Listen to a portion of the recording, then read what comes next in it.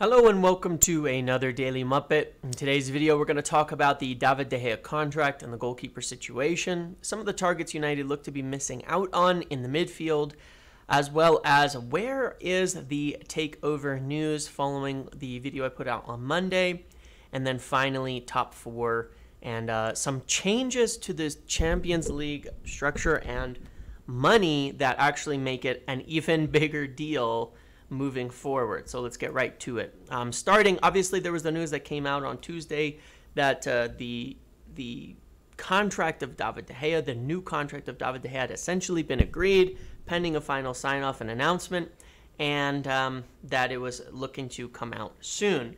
Um, and that would be on a lower wage with more incentive based on play and things like that. Now, people are saying, well, if he's on 200,000 a year, a month, a week rather, uh, you can't be a number two, all of that. There is one thing I want to clear up on Manchester United contracts in terms of how they tend to get reported and what the reality of them is. We don't have all the details on this. Nobody really does, but it's important to look at it. Um, for one of the contracts that did get all the details on a long time back was Cavani's. And the way that that one was structured is he had a base wage and then it was heavily incentivized 50,000 for an appearance, 50,000 for a starting appearance, 50,000 for a goal. And so his total wages could reach something like 15 million a year, 300k a week.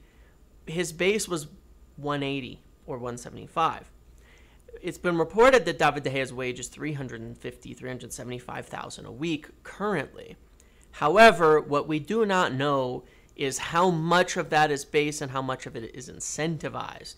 Uh, for example, is it 300,000 base with incentives that could bring it up to 375? It's almost always reported as the full wage with incentives, um, which is not necessarily the wage that is reached. Jadon Sancho is another example. It's been reported to something like 350,000. It is a heavily structured and incentivized contract. Um, so when we talk about David De Gea taking a wage cut, 200,000 a week could be the maximum if you understand what I mean. We don't know this. If the details come out, we'll know better, but just one thing to think with. We don't know that it's 200,000 a week base. It's unlikely that the, the number being mentioned is the base number, it rarely is. It could very well be 200,000 a week maximum with a 120,000 base with incentives per game started, per clean sheet, per things like that. You understand where the top of it could reach 200,000 a week or a little bit more. And so that's one way to think about it that if he wasn't playing, it's not necessarily 200,000 a week. It may be 120 a week for you know, which some would argue is still too much, but for a backup keeper at Manchester United, I think is pretty on par with what someone like Sergio Romero was making back then. So that's just one thing to think with, and why it may not necessarily inhibit um, United from signing a keeper or using Dean Henderson. Dean Henderson is on about 125k a week, so it tends to be fair wages for you know backups and, and things like that. So just something to think with. In the Times article from Charlotte Duncker and Paul Hirst, it was stated that they may still sign a goalkeeper and may still test out Dean Henderson. I have been saying now since I think September, and not it's what eight months now, that David De Gea would get a new contract on lower wages, but United would still look to bring in a keeper, and I'm still hearing the same thing. It's all about if the money stretches, and we'll get to some of the, the implications of that as there's been some changes to the way that top four is paid out, or rather, Champions League is paid out.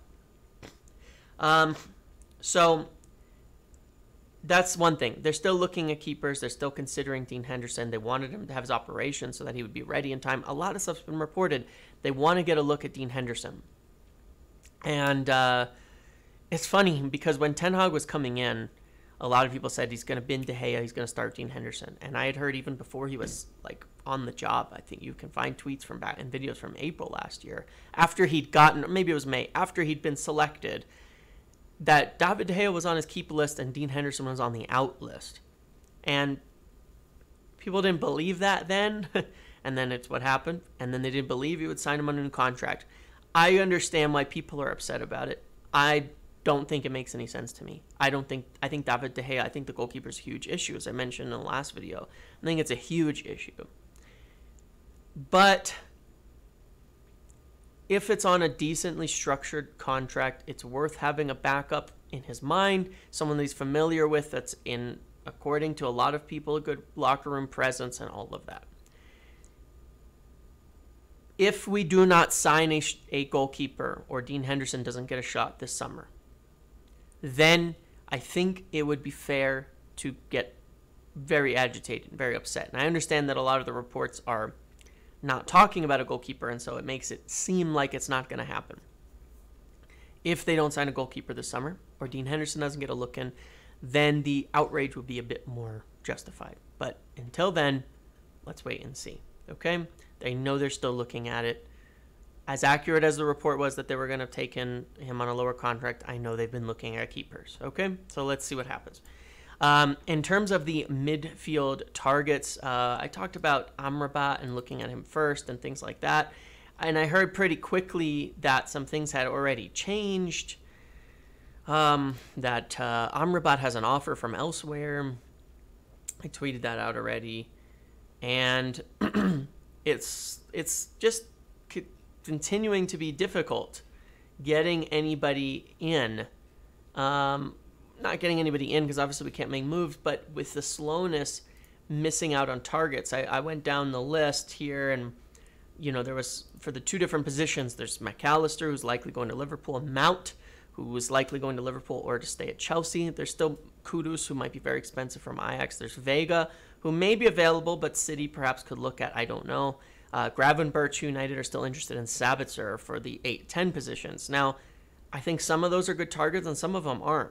And I'm concerned that it's starting to look like we fall all the way down the list to signing Sabitzer because it's the easy deal to replace Donny van de Beek. I don't think that makes sense. I don't think that upgrades our starting 11. And our strategy should be to sign players who improve our starting 11 and push players like Eriksen, Fred, etc. into permanent depth positions rather than starters. Right? Makes sense to me. Sabitzer's not that guy. Um, there are people who are. I don't know. Maybe Gabri Veiga of that list would be on there. But then for the other side of it, depending on how we want to play, for that more deeper position, you have Amrabat, who looks like he's going to somewhere in Spain, and that would be his preference. Rice, who obviously Arsenal are looking at and leading the race. Frenkie de Jong, who United still want. Erik Ten Hag still wants, but we there's I'm not even going to talk about it because we know how that went.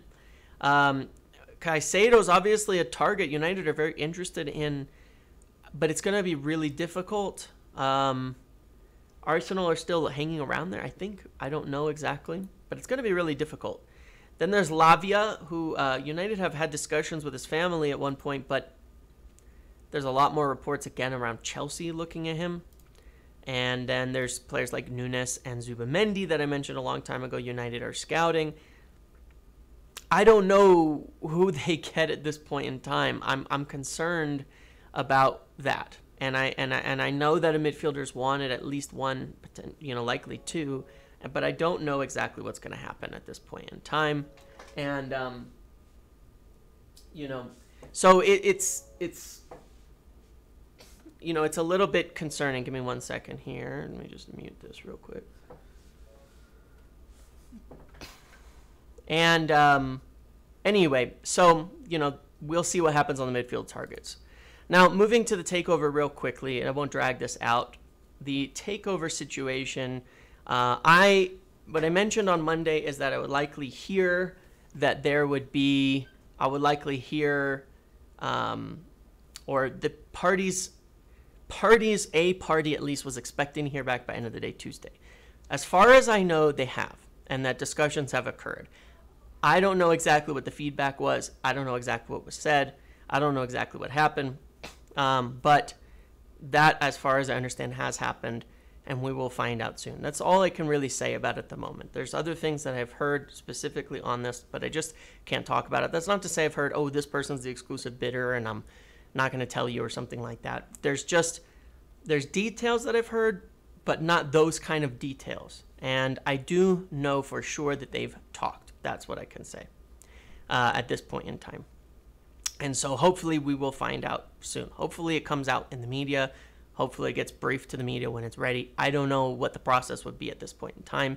If they're moving into exclusive talks or moving into the final round of things with, with one party, it may be rather quiet until it's totally resolved and ready to move forward because you at that point you're kind of done with all the jockeying for position and PR and briefs and all of that. So the purpose of leaking things out to the media is likely gone until they decide to. Um, so I hope it does come out soon. And then on top four, uh, there was an article from Martin Ziegler uh, at the Times that the restructured Champions League mm, TV money results in about a 30 million pound increase for clubs in Champions League starting next year. And that is a huge, huge thing. If you think about the way that FFP works, you can spend next season about 90% of your revenue.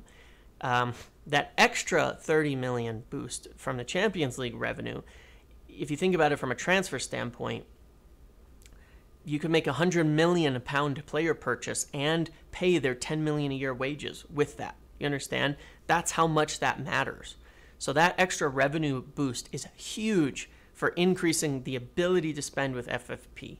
And so it is extremely vital that United get that because that is going to increase what we can buy this summer and stretch the budget a li- little bit further beyond, you know, obviously spending big on a striker and potentially then moving all the way to a, uh, you know, a goalkeeper or a midfielder.